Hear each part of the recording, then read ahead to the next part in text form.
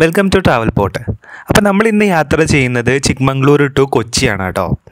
അപ്പോൾ നമ്മുടെ റൂട്ട് വരുന്നത് ചിക്മംഗ്ലൂർ ബേലൂർ ഹാസൻ പിന്നെ മൈസൂർ ബന്ദിപ്പൂർ നാടുകാണി. അങ്ങനെയാണ് നമ്മൾ പോകുന്നത്. പിന്നെ പെരിന്തൽമണ്ണ പുലാമന്തോൾ അതുവഴി നമ്മൾ കൊച്ചിയിലേക്ക് കയറുക എന്നുള്ളതാണ് നമ്മുടെ ഉദ്ദേശം. അപ്പോൾ ഈ ഒരു ഇത്രയും ഡിസ്റ്റൻസ് നമ്മൾ ട്രാവൽ ചെയ്യാൻ വേണ്ടിയിട്ട് എടുക്കുന്ന സമയം എന്ന് പറയുന്നത് ഏകദേശം പതിനാല് മണിക്കൂറിന്റെ അടുത്ത് എടുക്കും അപ്പോൾ അതിൽ നമ്മൾ നമ്മുടെ ലഞ്ചും പിന്നെ അതേപോലെ തന്നെ നമ്മുടെ ബ്രേക്ക്ഫാസ്റ്റ് ലഞ്ച് പിന്നെ ഈവനിങ് ടീ ഡിന്നർ ഇതെല്ലാം കഴിച്ച് പോകുമ്പോൾ തന്നെ ഏകദേശം പതിനേഴ് പതിനെട്ട് മണിക്കൂറിലധികം എടുക്കുന്ന ഒരു യാത്രയാണ് നമ്മൾ ഇന്ന് പ്ലാൻ ചെയ്യുന്നത്. അപ്പോൾ ഇത്രയും ലോങ്ങർ ഡിസ്റ്റൻസ് കവർ ചെയ്യാനുള്ളത് കൊണ്ട് തന്നെ നമ്മുടെ യാത്ര ഞങ്ങൾ ഏകദേശം അഞ്ച് മണിക്ക് തന്നെ സ്റ്റാർട്ട് ചെയ്തിട്ടുണ്ട് കേട്ടോ. അപ്പോൾ നമ്മളിപ്പോൾ യാത്ര നമ്മൾ കണ്ടിന്യൂ ചെയ്തുകൊണ്ട് പോയിക്കൊണ്ടിരിക്കുകയാണ്. നമ്മളിപ്പോൾ ബ്രേക്ക്ഫാസ്റ്റ് ഒക്കെ കഴിഞ്ഞു. ബ്രേക്ക്ഫാസ്റ്റ് കഴിക്കുന്ന വീഡിയോ നമ്മൾ എടുത്തിട്ടില്ല. അപ്പോൾ ഈ ഒരു റൂട്ട് എന്ന് പറയുന്നത് കർണാടകന്റെ ഈ ഒരു പ്രദേശങ്ങളിലൊരു പ്രത്യേകത എന്ന് പറയുന്നത് ഈ കണ്ടെത്താ ദൂരത്തോളം പരന്ന് കിടക്കുന്ന റോ റോഡാണ് ഇവിടെ അധികം ട്രാഫിക് ഒന്നും ഇല്ലാത്ത റൂട്ടാണ്. അതുകൊണ്ട് തന്നെ നമുക്ക് ഏകദേശം നമ്മുടെ നാടുകാണി വരെ നമുക്ക് ഗൂഗിൾ മാപ്പിൽ നോക്കിയിട്ടാണ് പോകുന്നത്. അപ്പോൾ അതേ സ്പീഡിൽ തന്നെ നമുക്ക് പോകാൻ പറ്റുന്നതാണ് നമ്മൾ വിശ്വസിക്കുന്നത്. ഞങ്ങളുടെ യാത്ര ശരിക്കും ഞങ്ങൾ തുടങ്ങിയത് വയനാട്ടിൽ നിന്നാണ് കേട്ടോ. വയനാട്ടിൽ നിന്നാണ് യാത്ര തുടങ്ങുന്നത്. വയനാട്ടിൽ നിന്ന് പിന്നെ ഞങ്ങൾ കൂർഗ് വന്നു. കൂർഗിൽ പിന്നെ ഞങ്ങൾ കുശാൽ നഗറും പിന്നെ അതേപോലെ തന്നെ മടികീരിയൊക്കെ കറങ്ങിയിട്ടാണ് ഞങ്ങൾ ചിക്മംഗ്ലൂരിലേക്ക് പോയത്. അപ്പോൾ കുറച്ച് ദിവസങ്ങൾ നീണ്ടു നിന്നൊരു യാത്ര തന്നെയായിരുന്നു അപ്പോൾ ആ യാത്രന്റെ അവസാനമാണ് കേട്ടോ ഇത്. ശരിക്കും ഒരു ഫീലൊക്കെ ഉണ്ട് യാത്ര അവസാനിപ്പിച്ച് നമ്മൾ നാട്ടിലേക്ക് തിരിച്ചു പോകുന്നത്. പക്ഷേ ഈ ഒരു ജേണി എന്ന് പറഞ്ഞാൽ ഭയങ്കര ത്രില്ലിങ് ജേണിയാണ് കാരണം കർണാടക തമിഴ്നാട് കേരള മൂന്ന് സ്റ്റേറ്റിലൂടെയാണ് നമ്മൾ ഒരൊറ്റ ദിവസം കൊണ്ട് നമ്മൾ യാത്ര ചെയ്ത് പോകുന്നത്.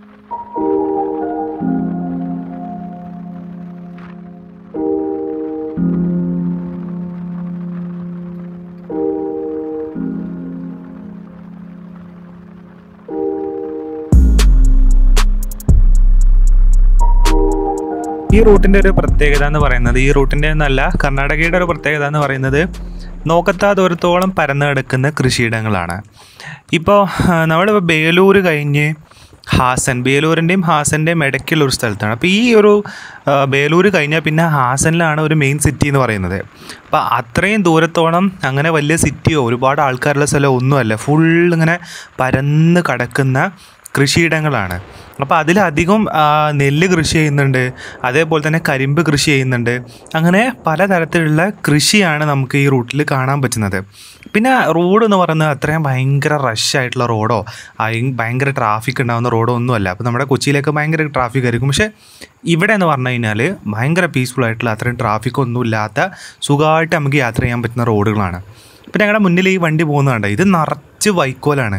അപ്പോൾ ഇതിന്റെ ബാക്കിൽ സത്യത്തിൽ ഞങ്ങൾക്ക് യാത്ര ചെയ്യാൻ പറ്റുന്നില്ല. കാരണം ആ വണ്ടിയിൽ നിന്ന് നല്ല കാറ്റടിക്കുന്നതുകൊണ്ട് തന്നെ വൈക്കോൽ ഫുള്ള് പാറിയിട്ട് ഞങ്ങളുടെ മേത്തേക്കാണ് വരുന്നത്.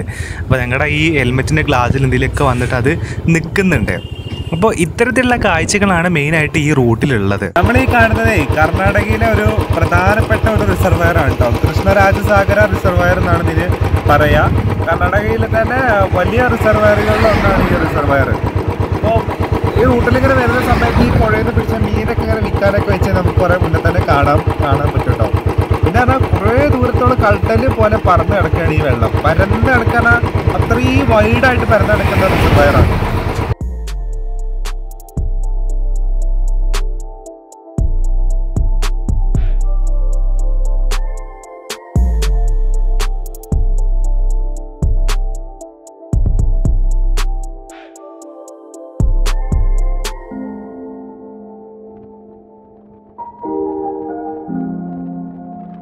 ഇവിടെ ഈ റോഡിന്റെ ഓപ്പോസിറ്റ് കാണുന്ന പാലം എന്ന് പറയുന്നത് റെയിൽവേ ട്രാക്കാണ് കേട്ടോ. അപ്പോൾ ആ റിസർവയറിന്റെ മേലെ കൂടെ അപ്പോൾ ഈ റിസർവയറിന്റെ മേലെ കൂടെ റെയിലും ട്രെയിനും പോകുന്നുണ്ട്.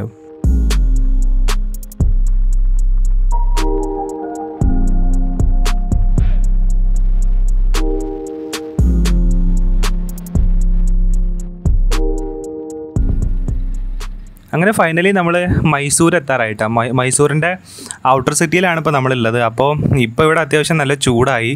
അപ്പം ഞങ്ങളൊരു ജ്യൂസ് കുടിക്കാം എന്നുള്ള രീതിയിൽ വണ്ടി നിർത്തിയതാണ് കേട്ടോ. ഈ ജ്യൂസ് ഉണ്ടാക്കുന്ന ചേച്ചി നമ്മോട് ചോദിക്കുന്നത് ഇതിൽ നാരങ്ങ വെക്കണം എന്നുള്ളതാണ് ചോദിക്കുന്നത്. നമുക്ക് കന്നഡ അറിയാത്തതുകൊണ്ട് ചേച്ചി എന്താണ് ശരിക്കും ചോദിക്കുന്നത് എന്നുള്ളത് ഞങ്ങൾക്ക് മനസ്സിലാവുന്നില്ല കേട്ടോ.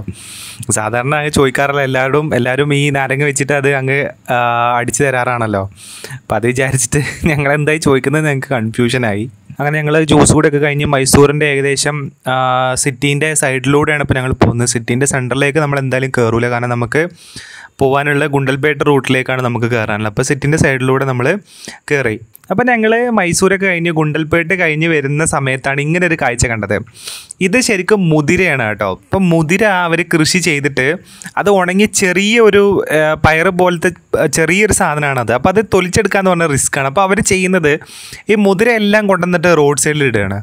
എന്നിട്ട് ഇതിന്റെ മേലെ കൂടെ ട്രാക്ടർ ഓടിക്കുകയാണ് ചെയ്യുന്നത്.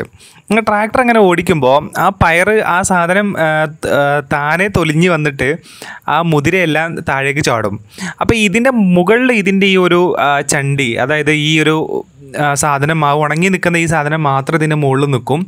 ബാക്കിയുള്ള സാധനങ്ങൾ താഴേക്ക് ചാടുകയും ചെയ്യും. എന്നിട്ട് അത് അവർ അത് അവിടെ നിന്ന് അടിച്ചെടുക്കുകയാണ് ചെയ്യുന്നത് കേട്ടോ. അപ്പോൾ അത് കഴിഞ്ഞ് കുറച്ച് മുന്നോട്ട് പോന്നപ്പോഴാണ് ഇങ്ങനൊരു സംഭവം കാണുന്നത്. ഇത് പരുത്തി കൃഷിയാണ്. അപ്പോൾ നമ്മളിങ്ങനെ നോക്കുന്ന സമയത്ത് ഇവിടെ കരിമ്പുണ്ട് കമ്പമുണ്ട് അപ്പോൾ ഇങ്ങനെ നോക്കുമ്പോൾ ഒരു ചെടിയിൽ ഇങ്ങനെ വെള്ള പഞ്ഞി പഞ്ഞി ഇങ്ങനെ നിൽക്കുന്നത് കണ്ടിട്ടുണ്ട്. അപ്പോൾ അപ്പോഴാണ് ഞങ്ങൾക്കിത് മനസ്സിലായത് ഇത് പരുത്തിയാണെന്നുള്ളത്. അപ്പോൾ നിങ്ങൾ ഈ ഒരു റൂട്ടിലേക്ക് വരികയാണെന്നുണ്ടെങ്കിൽ നിങ്ങൾക്ക് ഇവിടെ പലതരത്തിലുള്ള കൃഷി കാണാം. ഇത് നമ്മുടെ കേരളത്തിനെ ഇവിടെ ഏകദേശം അടുത്തെടുക്കുന്നൊരു സ്ഥലം തന്നെയാണ് കേട്ടോ.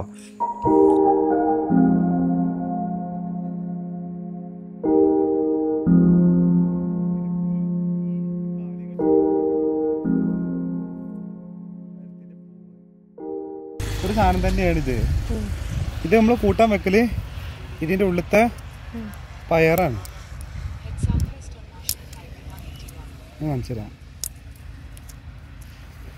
കണ്ടോ?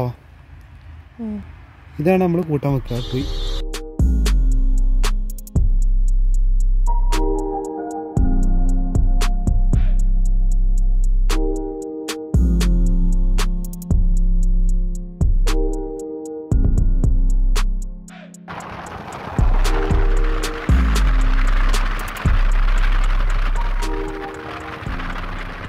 അപ്പോൾ ഫൈനലി നമ്മൾ ബന്ദിപ്പൂർ ഫോറസ്റ്റിലേക്ക് കയറി കേട്ടോ. ബന്ദിപ്പൂരും പിന്നെ അതേപോലെ തന്നെ മുത്തങ്ങയും അതേപോലെ തന്നെ നമ്മുടെ ഈ ആനമല ഈ മുതുമലയൊക്കെ ഒരേ ഫോറസ്റ്റ് റീജിയൻ തന്നെയാണ് ഡിഫറെന്റ് ആയിട്ടുള്ള സ്റ്റേറ്റുകളിൽ പരന്നെടുക്കുന്നതെന്നേ ഉള്ളൂ. അപ്പോൾ ബന്ദിപ്പൂർ കാട്ടിലേക്കാണ് നമ്മളിപ്പോൾ കയറിയിട്ടുള്ളത് അപ്പം അങ്ങനെ നമ്മൾ ഈ കാട്ടിലൂടെ വരുന്ന സമയത്താണ് റോഡ് സൈഡിൽ ഒരു ആനയും ഒരു കുട്ടിയും നിൽക്കുന്നത് കണ്ടത് കേട്ടോ. അപ്പോൾ ഈ ഒരു കാട്ടിലൂടെ നമ്മൾ ഒരുപാട് ബോട്ടുണ്ടെങ്കിലും ആദ്യമായിട്ടാണ് ഇവിടെ നമ്മൾ ആനനെ കാണുന്നത്. ഇത് ചെറിയൊരു ആനയും അതിന്റെ ഒരു കുട്ടിയാണ് അവിടെ ഉള്ളത്. ഒരു പാക്കായിട്ടല്ല ഉള്ളത്. ഒരു ആനയും ഒരു കുട്ടിയും. ഒരു ചെറിയ ആനയാണ്. അത്ര ഭീമാകാരമായ സൈസൊന്നുമില്ല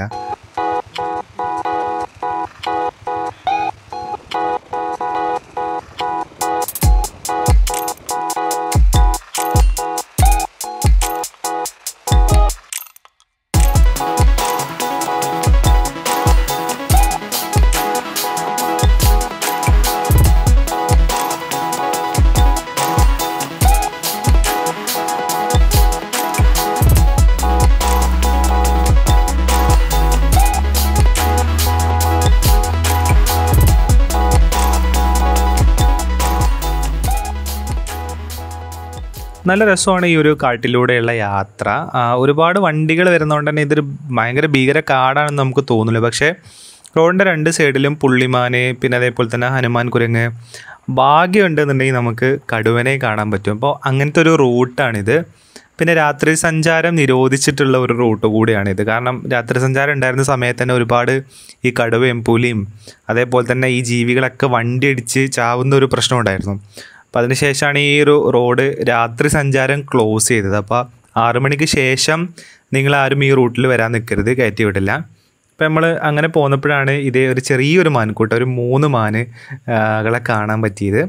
നല്ല രസമുണ്ട് കേട്ടോ അവരെ കാണാൻ. ഇവരുടെ നാച്ചുറൽ ഹാബിറ്റാറ്റിലുള്ള ഒരു മാനും അതേപോലെ തന്നെ കൂട്ടിലിട്ടുള്ള മാനും കാണാൻ നല്ല വ്യത്യാസമുണ്ട്. ഇപ്പോൾ നമ്മൾ നിസർഗധാമയിലൊക്കെ പോയി കഴിഞ്ഞാൽ അവിടെയുണ്ട് മാന്. പക്ഷേ ആ മാനും ഇവിടെ വന്നിട്ട് ഈ നാച്ചുറൽ ഹാബിറ്റാറ്റിൽ ആ ജീവിക്കുന്ന മാനും തമ്മിൽ ഭയങ്കര വ്യത്യാസമുണ്ട് കേട്ടോ. ഈ ഇങ്ങനെ ആണ് ഇവരെ കാണാൻ നല്ല ഭംഗിയുള്ളത്.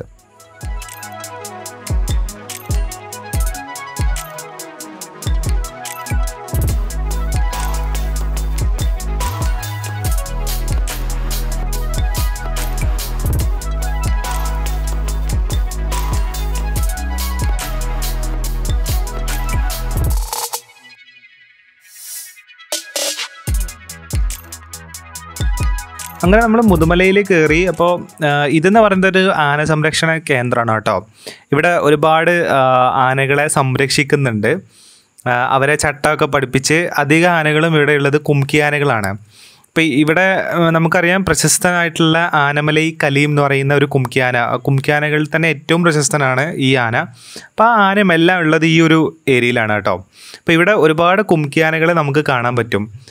പലയിടത്തായിട്ട് കെട്ടിയിട്ടുള്ളത് കുളിപ്പിക്കുന്നത് അങ്ങനെയുള്ള ഒരുപാട് കാഴ്ചകൾ നമുക്ക് മുതുമലയിൽ കയറിയാൽ നമുക്ക് കാണാൻ പറ്റും. ഈ തെപ്പക്കാടിന്റെ ആ ഒരു ഭാഗത്താണ് ഇത്തരത്തിലെ ആനകളെയൊക്കെ നമുക്ക് കാണാൻ പറ്റുന്നത്.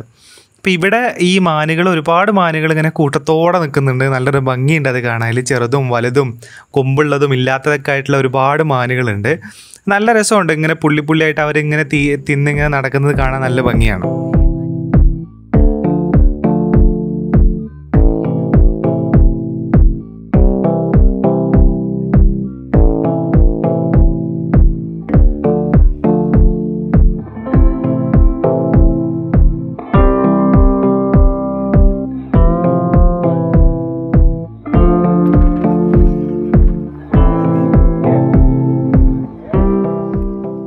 നമ്മൾ നേരത്തെ പറഞ്ഞ പോലെ ഇവിടെ ആനകളെ കുളിപ്പിക്കുന്നത് കാണാം.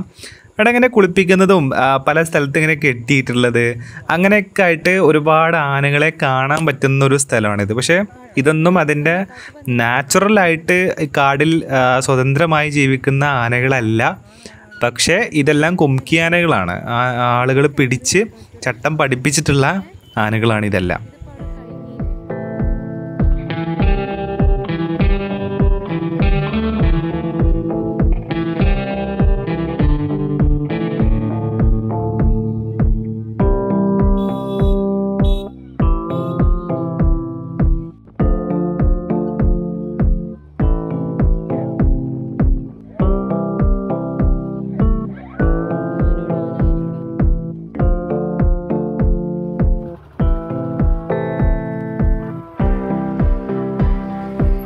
അങ്ങനെ നമ്മൾ മുതുമലൈ ടൈഗർ റിസർവയറും കഴിഞ്ഞു. നെക്സ്റ്റ് നമ്മൾ വരുന്നത് ഗൂഡല്ലൂരാണ്. ഗൂഡല്ലൂർ കഴിഞ്ഞാൽ പിന്നെ നാടുകാണി അങ്ങനെയാണ് നമ്മൾ പോകുന്നത്. അപ്പോൾ ഞങ്ങൾ അങ്ങനെ വന്നപ്പോഴാണ് ഇവിടെ ഈ എന്താ പറയുക പനന്തേന് വിൽക്കുന്നുണ്ട് പനന്തേൻ എന്ന് പറയും ചില സ്ഥലത്ത് പതനി എന്നൊക്കെ പറയും. നല്ല ടേസ്റ്റാണ് കേട്ടോ. നല്ല മധുരമാണിത് ഇത് ശരി കള്ളല്ല കേട്ടോ ഇത്. കള്ള് വേറെയും കിട്ടും. അതല്ലാണ്ട് ഇത് വേറെയും കിട്ടും. നല്ല ടേസ്റ്റാണ് ഇത് കുടിക്കാൻ. ഇനിയുണ്ട്. எப்படி இருக்கு? நான் சொன்ன மாதிரி நல்லா இருக்கா? டேஸ்ட்டாக எல்லாரும் வரவங்க ரெண்டு அண்ணன் உண்டா?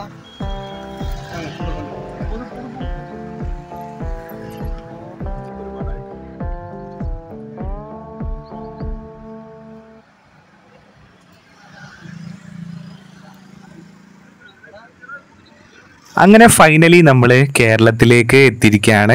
ഈ കാണുന്നത് നമ്മുടെ നിലമ്പൂരിന്റെ ഭാഗങ്ങളാണ് കേട്ടോ ഈ കാണുന്നത്.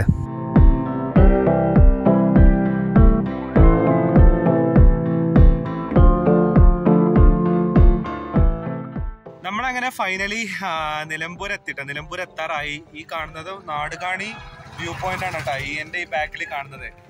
ഓക്കെ അപ്പോൾ ഇത്രയൊക്കെയാണ് നമ്മുടെ റൈഡിന്റെ വിശേഷങ്ങൾ എന്ന് പറയുന്നത്.